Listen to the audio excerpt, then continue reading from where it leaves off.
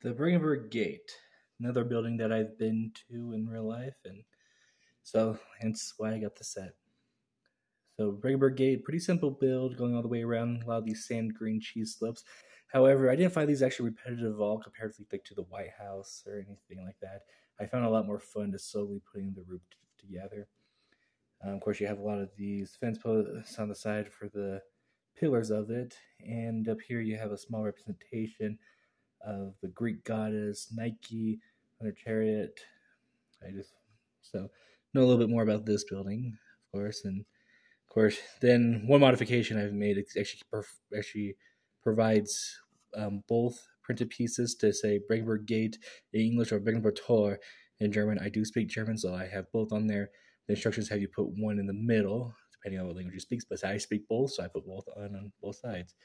So, eh, but of course, it brings up that extra plain black one, so you don't you only need one instead of two. Tell me your thoughts down below. What do you think of this set? I, like I said, I had to get it since I've actually been there. Thank you for watching. Remember to like, comment, subscribe, and see y'all next time. Goodbye.